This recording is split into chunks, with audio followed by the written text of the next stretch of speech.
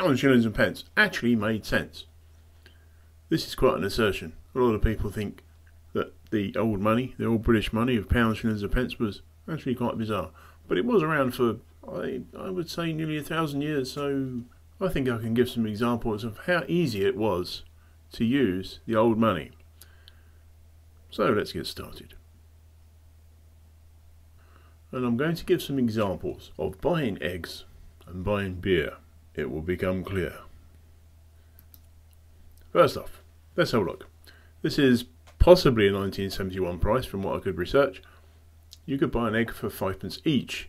Yes, well, I know these days you probably only buy them in dozens or half dozens, but you could actually go to a grocer's and just buy one.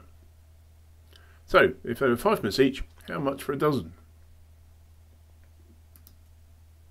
Well, all we had to do was change the pennies to shillings.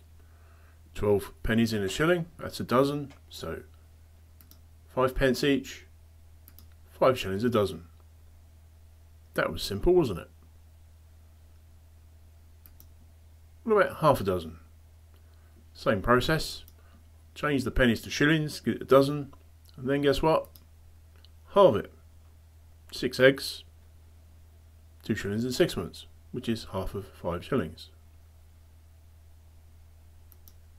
What about 24? Perhaps you're going to make a cake. Big cake. You need lots of eggs. Okay, five pence each. What should we do? Change pennies to shillings. Double it. So five pence each. A dozen would be five shillings. And for two dozen, 24, 10 shillings. Let's go on to beer. Got a price list. This price list was in the sample room of the Young's Brewery in Wandsworth. And it said it were prices from July 1966. Special bitter, SPA, was one shilling, one and a half pence for half a pint. So, how much are four pints? Double it to get the pint. So, a shilling times two is two shillings, one and, one and a half pence, three halfpence, you might want to call it. Doubled is threepence. Two shillings and threepence for a pint of special. This was in 1966. So, what do we do to get four pints? Multiply by four. Four twos are eight, eight shillings. Four threepences is twelve pence. So you add the shilling to the eight shillings and you get nine shillings. So four pints of special 1966 was nine shillings. What about you were putting up some money behind the bar for 20 pints? Not to be drunk all at once, but perhaps you're you're having a party and you're you're gonna celebrate by buying loads of people browns. So 20 pints, two shillings and threepence a pint. We know that now from what we did earlier. Change the shillings to pounds.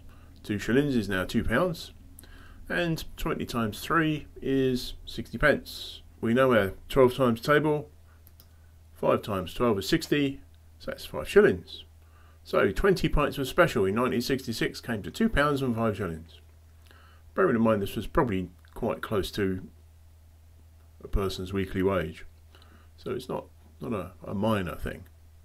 Anyway, you might be thinking thus far, assuming you've stayed thus far, that these examples are contrived and simple. So let's look at something a bit more complicated. Here's an advert from 1960 from the company called Home Radio, which sold televisions and radio at the time. And this has various prices for rentals, for television rentals. I particularly like the bit where it says you get free legs. Anyway, so let's choose a no deposit set, 17 inch, 6 shillings and 6 months a week. How much would it cost to rent that for 6 months? And the, the reason I'm suggesting we calculate it for 6 months is it does actually say the minimum rental period was 6 months. So the first task is to start splitting up the numbers that we require. Now, 6 months is the minimum rental period, Six months is half a year, 52 weeks in a year, therefore we need to calculate for 26 weeks. So if we break that up into two numbers, 20 and 6, which makes 26, we can then see that we can use 20 times 6 shillings is 6 pounds. No calculation needed there. And 6 times 6 shillings is 36 shillings. And we take 20 from 36 to leave 16, so 36 shillings was one pound and 16 shillings. So we now need to add up that six pounds and that one pound 16 shillings, which gives us seven pounds 16 shillings. But remember, this was the calculation only for one part of the weekly sum. This was for the calculation of the six shillings times 26. So now we need to apply 26 to sixpences. Now, sixpence is half a shilling. So if we need to find out 26 halves of a shilling, then that's half 26, which is 13 shillings. So now let's add in the £7 16 shillings we had for the shillings component of the 6 shillings and sixpence weekly rental. Add that to the 13 shillings, which gives us £7, 29 shillings, so we need to take 20 off the 29 and carry it over to the 7, and our answer is £8 and 9 shillings. That's how much it would cost over a six month period the minimum rental period at six shillings and sixpence per week. That wasn't too hard, was it? Thank you for watching. Hope you enjoyed this video. It's very unlikely that anyone got this far because most people go, oh my god, arithmetic, oh my god, old money. Press the like button. I'm not expecting anyone to like this. And subscribe for more if you can. Bye.